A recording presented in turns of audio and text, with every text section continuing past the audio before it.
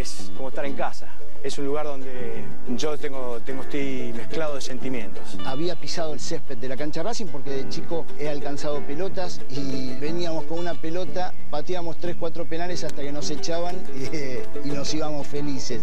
Atrás del arco están las cenizas de mi vieja, próximamente van a estar las de mi viejo y algún día seguramente la mía. O sea que para mí esto es un templo, como dicen.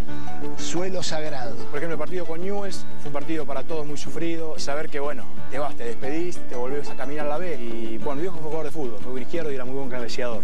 Entre medio de llanto, le pedí a mi viejo que, que vaya al área a cabecear.